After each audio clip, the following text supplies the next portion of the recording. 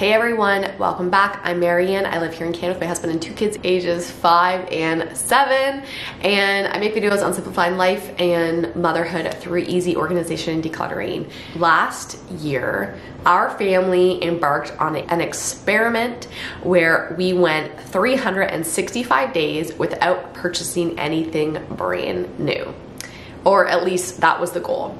We called it our Buy Nothing New Year, and I thought this would be the perfect time to share a video about it because it is almost the end of this year, and I know a lot of families like ours kind of do little challenges or experiments starting in the new year. So I thought this would be the perfect time to sort of put the bug in your ear because maybe this could be a challenge that you and your family embark on for the next calendar year, so 2024. So today I'm sharing like what it was like what went wrong, what we liked, what we didn't, and how it ended. So if that's something you're interested in, then keep watching for all the details details.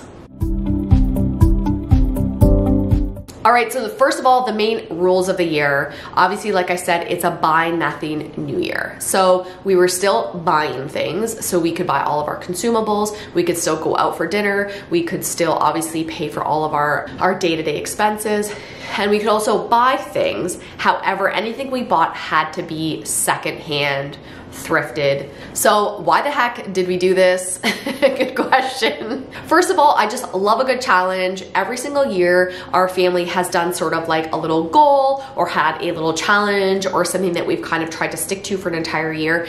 Over the years, we've done tons of like buy nothing months. So that's where we go for 30 days. Um, and we don't buy anything at all other than again like our regular expenses that we have to pay. They had made such a huge difference in our lives and like in our spending and in kind of just how we operate. So i thought why not take this sort of like a step further and do an entire year? I would have loved to do an entire year of like actually a no spend year so not buying anything other than necessities. However i felt like that might be a bit much for our family. Our kids were still kind of little. Our kids were around four and five five and I just felt like I wasn't quite ready to commit to that so I thought this was like a happy medium. I had three main goals for the challenge. Number one was to save money. So like I said, we had done no spend months before and that was obviously the goal of those. We obviously were still gonna be spending money, but in theory, um, only buying secondhand and restricting ourselves like kind of what we bought brand new in my mind was that we were going to save money and that was obviously going to be great. Goal number two was to control clutter. So we had already got our house to a really good state where I felt like we had a good amount of things in our house that felt good to us. But as you know, it's like a constant battle to keep those things out. So I thought by limiting, again, by restricting what we were purchasing and what we were buying and sort of changing our mindset on that, that we were gonna control how much was coming into the house and therefore make sure we didn't get back into the routine of having like a bunch of stuff coming into the house every month. Goal number three was the environmental aspect. All those brand new items coming into the world, they take resources to make, um, they take resources to get to us. There's a lot of garbage. Typically, there's a lot of garbage and waste associated with all that. And then you obviously have this end product, which like, how long are you gonna use this for? Where is it going to get? Where is it going to land um, when you're done with it? So as a professional organizer, um, I see a lot of garbage. I see a lot of waste. I see what happens to items as they go through like the cycle of use, how long things last, all that sort of stuff. That was a topic that was on my mind a lot lately. So I thought this, again, by buying only secondhand, this was like a good way to kind of like do like our little something um, for the planet. Was I nervous for this? Yes. Did I think we were going to succeed? Not really. I honestly did not know what to expect. A bit of it was just a fly by seat of our pants to figure it out. I didn't have an exact plan for what we were going to do, but there were definitely some specific lessons that we learned along the way, which I want to share with you. Lesson number one was we gained so much time. So this is something I did not factor into my plan. It wasn't one of our goals. Really the focus was more on the money saving aspect. But holy cow, we saved so much time and like even just like mental energy by not thinking about buying stuff, considering buying stuff, going to the mall to buy stuff, wondering if we can afford to buy stuff. Like it's just all these decisions and all this energy and time that we spent going and buying things just sort of disappeared. We had all this extra time. And even for a family like us that I feel like we weren't huge shoppers to begin with, I feel like just eliminating that and knowing that like this year we're sort of taking a break, we're giving ourselves like space and time to not deal with that and have we had so much energy and time for other things and being in such a busy time in our lives with both of us working full time and having young kids, how much time we saved was 100% worth it just for that. Lesson number two was not as fun, and that was that we still spent a ton of money. So, I mean, when I say a ton of money, it's all relative. It's not like we went out and, you know, broke the bank and spent every dollar we have. That's not the case at all. However, it's also not like we all of a sudden saved. we all of a sudden had like 20 extra thousand dollars um, at the end of the year. I will say if I did the challenge again, I would track this. So I would track maybe like what we bought secondhand com and compared to what it would have cost brand new or tracked maybe items that we wanted to buy but ended up not buying because we weren't able to find them. Because I'd be interested to see how much money we actually did kind of save throughout the year. Does make me want to do a no spend year where we buy nothing except necessities and to see how much money that saves. Lesson number three was that it was tiring and not tiring from like having to try to research items to find because like I said they were pretty easy to find. It was more like exhausting because it felt like we were constantly going against the grain. Wanting something and going to the store and buying it is pretty typical. That's kind of how everyone operates and that's and that's how we've sort of operated um, our whole lives up until now. And doing things sort of different um, or against the grain or not what everyone else does is not probably my biggest strength.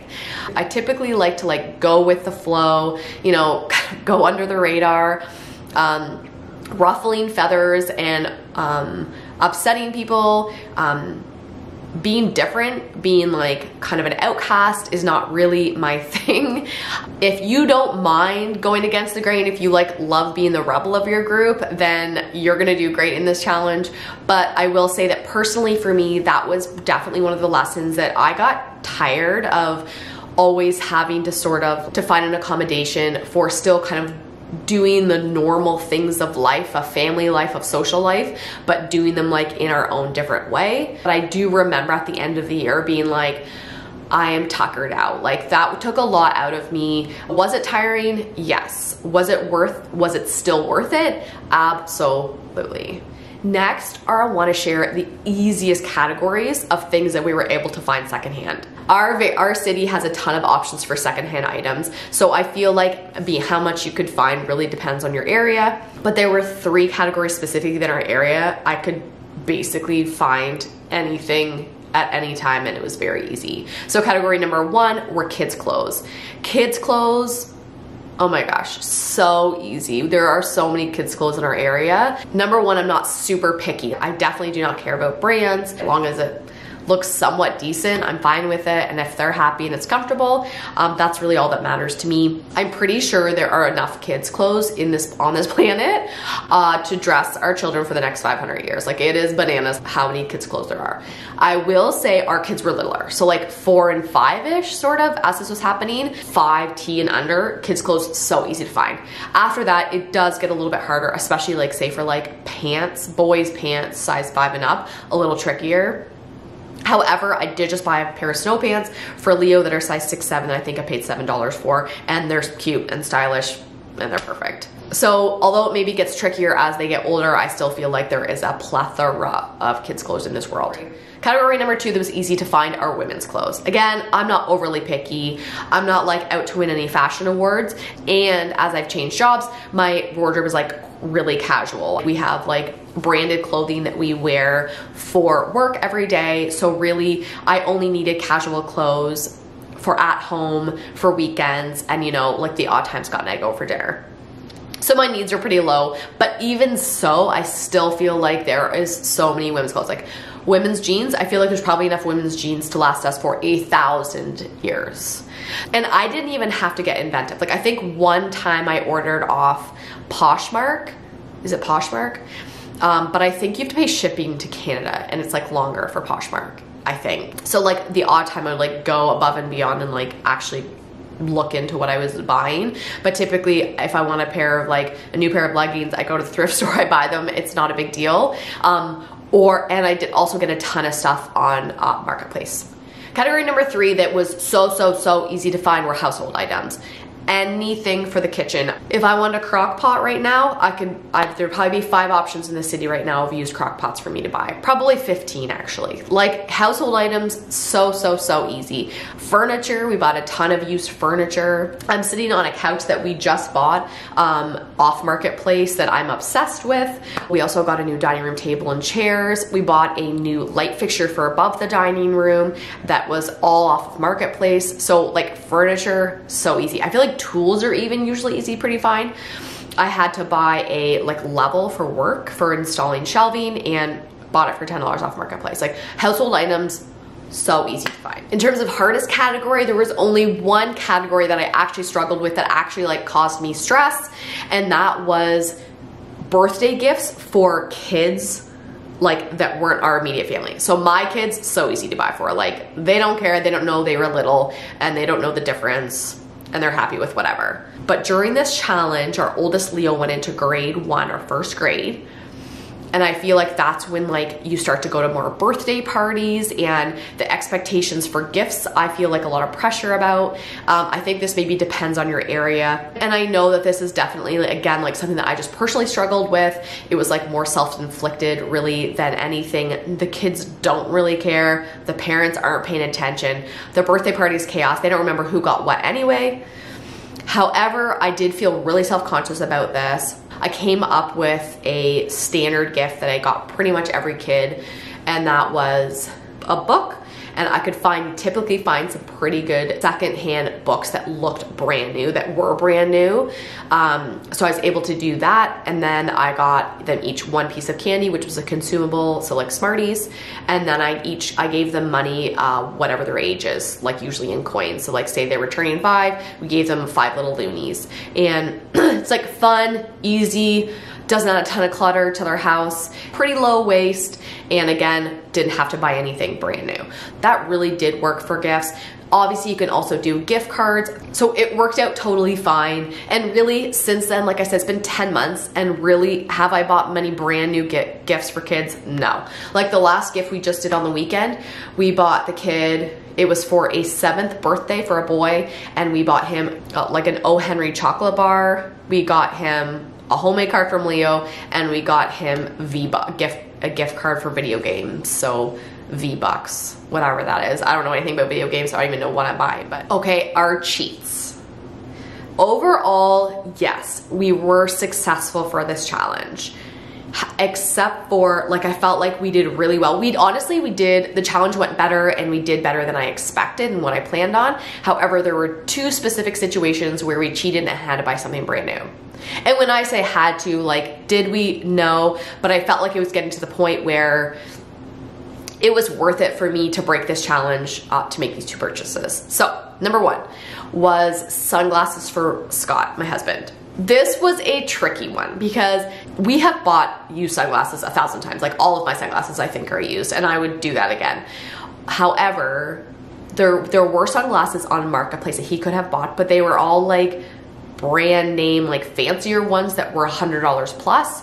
And really, we are more like $17 sunglasses kind of people. We technically could have bought something used um, and spent like a little bit of extra and just kept our fingers crossed that Scott got a lot of use out of them. And we really were trying to be patient. We kept looking everywhere. We looked at all the thrift stores. We looked on Marketplace, you know, days and days and days. Scott went like multiple weeks um, during the summer without sunglasses. he was definitely a trooper for this. But it got to the point, I think one day we were like going to the beach and it was July in Ontario, which is hot and sunny. And I felt so bad. And I'm like, you know what? I think you need to buy sunglasses. So he drove and we technically didn't even have to pay for them because he went to Canadian Tire, which is like our hardware store here in Canada. And we had points, so he was able to get them without spending any money at all. So he still saved money. Um, but we did buy something brand new, so that was definitely one of our cheats. The number two item, brand new item we bought during our challenge was a hair buzzer. So we cut all of our hair at home and obviously for the two boys, they need like a buzzer. They both have short hair. And so we use a hair buzzer we had one that was like dead. Like it hurt them. it hurt when it was like to cut their hair.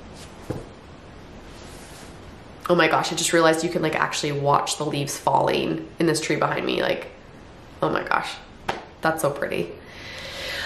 Um, anyway, yeah, so we use this hair buzzer. Got to the point where we're like, can we wait another six months to wait till next year? And we're like, no, we can't. So we did find one on Marketplace and we bought it and it was terrible. And not that there was, and not because it was used, but because it had just been sitting in the box, I think. And it was like even worse than our, the one we already owned.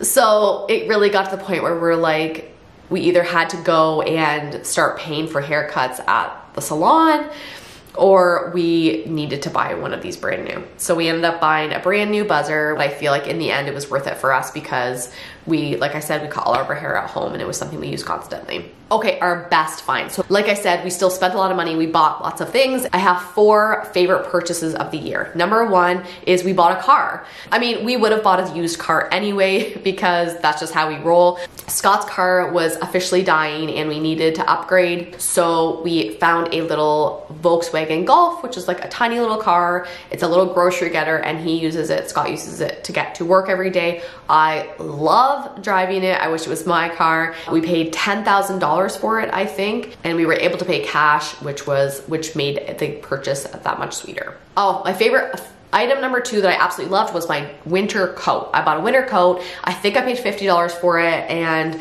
uh, it just like fits so well. I absolutely adored it. I wore it all winter. Um, I will wear it again this winter. It's so comfortable. It fits me so well. Um, and it was such a good score. And it was my favorite, it was my first used purchase of the year. I remember picking it up on New Year's Day and I was super pumped about it. Here in Ontario, a good winter coat is important. So I love, love, loved that coat. My favorite purchase, number three, was a little scooter we bought for Leo. And the reason I love this, I would love this purchase so much was because um, he sort of took it on as his own. He was ready to upgrade to a super cool big boy scooter and we said, that's absolutely fine Leo, you can do that, but you have to spend your own money. So it was like a whole day thing and he went upstairs to his big bank, figured out how much money he had. We looked on Marketplace to find one that he could afford. We po he was in charge of cleaning and his cleaning his old one so we post that for sale. And then he went when he found the one that new one that he wanted he went with Scott to pick it up and he was in charge of like handing over the money and picking up the new one and he absolutely loved it. He used it all summer. He used it last summer. And it was like such a good teaching moment I feel like for him. And it was super cute to watch like as a mom. Um, so that was definitely one of my favorite purchases of the year. Last favorite purchase was a golf clubs for Scott which normally I would not care about and not be excited about. However However, it was such, this is such a good little story. So Scott is obsessed with golfing one of the golf courses locally was offering like a free session where they would analyze your swing and they would do all this tests to figure out like what clubs you need for you to be the best, best golf player you can possibly be. Um, and obviously what they're there to do is to sell you their golf clubs. Um, which like we both knew going into it and he obviously knew that, but he also loved the idea they could give you a free hour where they, you know, do all this different testing and they, sh- they give you ideas of what would work best so you can be the best. So obviously he goes through all of this and then they send you the golf clubs that are suggested for you and they are like three to $5,000 for these golf clubs. Obviously, we were not gonna spend 3000 or 4000 or $5,000 on golf clubs, and, and Scott knew that. However, I could tell he was like disappointed, and I could definitely see that. Like, Scott does not ask for a lot of stuff. He doesn't complain really about things. He's not high maintenance by any means, but I could just tell that this really kind of like stuck with him. It really bummed him out, uh, and I felt really bad about it. So anyway, weeks, weeks go by, and about like six weeks later, maybe a couple months, he sees sees on Marketplace the exact same set of clubs for $1,200. So like a fraction of the price. I think they were missing two clubs or something, but overall an entire set for $1,200. He was then able to sell his existing clubs for a few hundred dollars, which he put towards that. And voila, he had a new set of clubs and he was so happy. It worked out so well. He had the clubs that he was like dreaming about and he was able to find them secondhand on Marketplace and it was such like a it was such a sweet good moment where I felt like it was just like where you feel like you've been patient and you're working for something and it really works out for you. It just makes it feel like all your hard work has paid off. So our final, my final thoughts on the challenge, would I do it again? Heck yes. Do I recommend it? Absolutely. Do I think it shifted our spending, how we operate, how we consume things? Absolutely. Has anyone else ever done this challenge? Have you done something like it? I'm super interested in doing an actual no spend year where we actually buy nothing except for necessities for the entire year. I'm kind of nervous, but I'm super interested in doing it. Um, has anyone else ever done that? Do you have any like suggestions or um, tips for that? I would gladly take them. And if we do it, I will definitely share that here. I hope this inspires you and gives you maybe ideas for challenges you might be interested in doing with your family, or maybe just tiny little tweaks, tiny, tiny little changes you wanna do so that you are creating less clutter in your home, less clutter in the world, and um, saving a little bit of money along the way. As always, thank you so much for being here. Thank you for following along, and I will see you next time. Bye, guys.